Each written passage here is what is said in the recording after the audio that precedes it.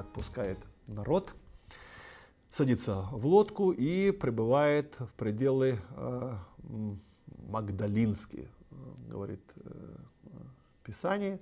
Э, Мигдаль, э, это Мария Магдалена, Мигдаль, это э, область э, в, в Галилее. И приступили фарисеи, садукеи, искушали его, спросили показать им знамение с неба. Он сказал им ответ, вечером, говорите, будет ведра, потому что небо красное, по утру сегодня не Настя, потому что небо багровое, лицемеры. Различать лицо неба вы умеете, а знамение времен не знаете, род лукавый и прелюбодейный. Э, не будет знамений, дастся знамение, кроме знамения Ионы э, пророка. Игра слов, слово небо, это, естественно, и э, аллюзия к Царству Небесному, но с другой стороны и она используется и используется как эпитет к имени Всевышнего, там Отец Небесный, да. а с другой стороны небо это просто знамение небес, он как бы говорит, вы хотите знамения небес, каких духовных или вот таких. На самом деле, во времена Иисуса, э, времена прихода Мессии, к знамениям относились очень серьезно. И знамением э, небес, э, хочу прочитать отрывок, приведет Всевышний на землю известный мидраж, который так и называется «Знаки Мессии». То есть знаки его пришествия.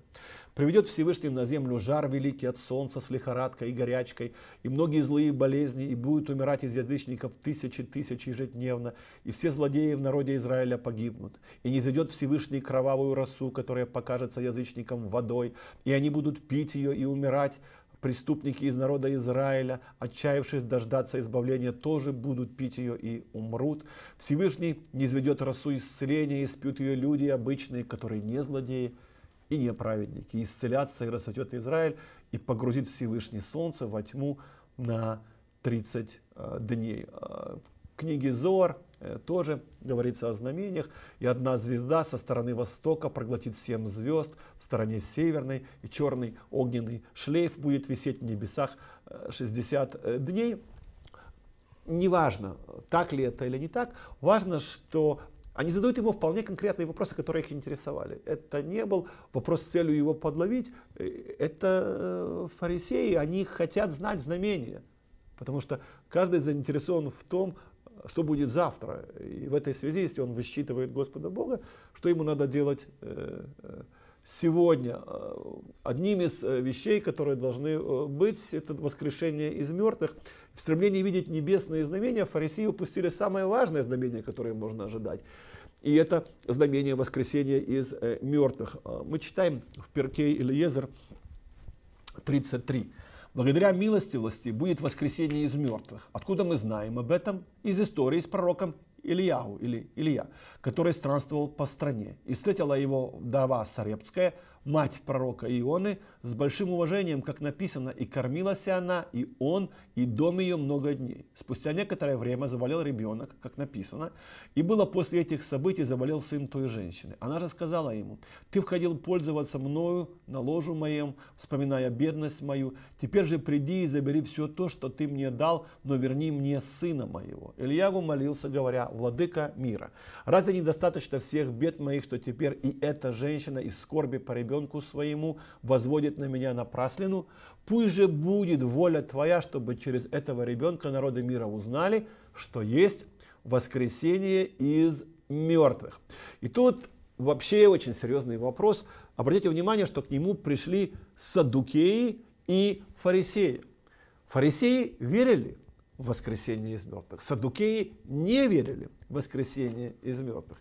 Иисус, как бы, я думаю, с улыбкой говорит им лицемеры, но и тем, и другим он как бы дает им понять, что вы даже, вы пришли вроде как бы со мной разбираться, но вы между собой договориться не можете.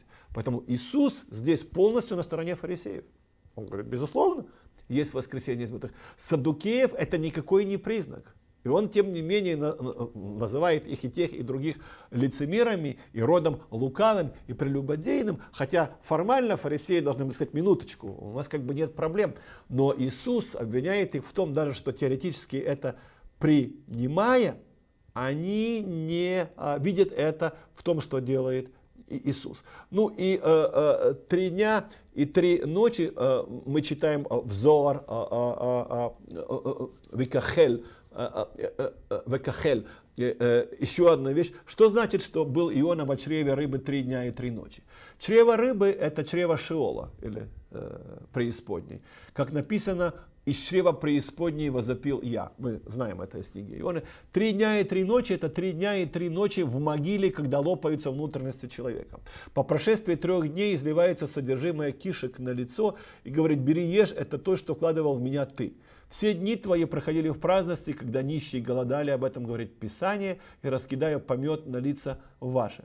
И так, когда раздастся этот голос, и сказал Господь рыбе, и извергла она Иону на сушу, все могилы изрыгнут мертвецов на сушу. Почему эти мертвецы названы Рафаим? То есть призраки, потому что они кости их восстают и скрепляются и обрастают плотью, и так они исцеляются. Это аллюзия на книгу Иезекииля, с одной стороны. С другой стороны, что нас волнует, что вопрос воскрешения из мертвых в связи с книгой Ионы и этим пророчеством, он как бы очень важен. Дело не только, э, часто говорят, и справедливо говорят, что три дня, три ночи это срок, который Иисус э, проводит в, это именно то знамение, Э, отдельно можно говорить о том, почему именно три дня и три ночи. Приправились на другую сторону, ученики забыли взять хлебы. Иисус сказал им, смотрите, берегите закваски фарисейской и садукейской. И они рассуждали про себя, мы хлебов не взяли.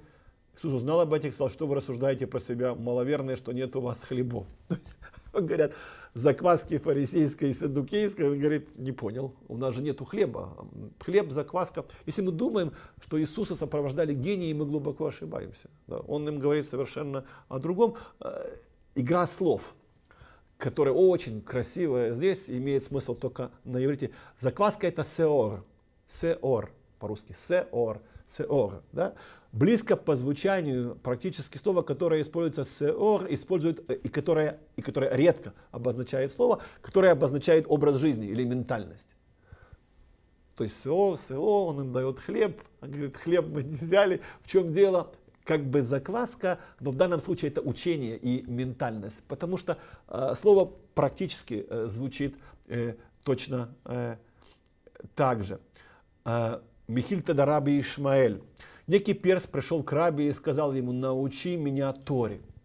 И Раби стал учить его, говоря, вот Алеф. Алеф это первая буква еврейского алфавита. Выразил, возразил перс. А кто сказал, что это Алеф? Сказал, вот Бет, вторая буква еврейского алфавита. Возразил перс. А кто сказал, что это Бет? Выгнал его Раби. Пришел он к Шмуэлю и сказал ему, научи меня Торе. Шмуэль стал учить его, говоря, вот Алеф. Возразил перс. А кто сказал, что это Алеф? Сказал, вот бет. И возразил перс. А кто сказал, что это бет? Схватил его Шмуэль за ухо. Я вообще считаю, что это иногда очень хорошее а, учение.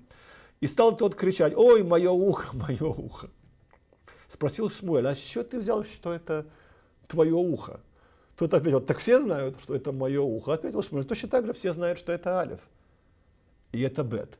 Если не этот урок Шмеля, если бы не этот, перс вернулся бы к своему прежнему образу мышления. И тут есть это слово сеора, то есть то самое, которое закваска, которое сеор, которое Иисус. То есть на самом деле, когда они берут хлеб, я говорю, закваска фарисейская, садукейская, у нас хлеба нету. Причем здесь это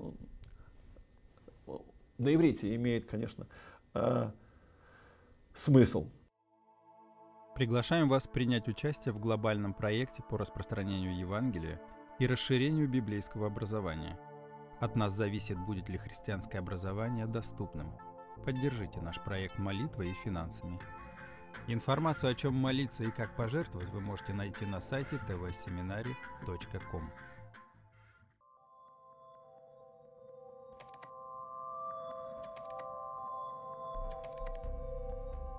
Ищите нас в поисковых системах по запросу ТВ-семинарий.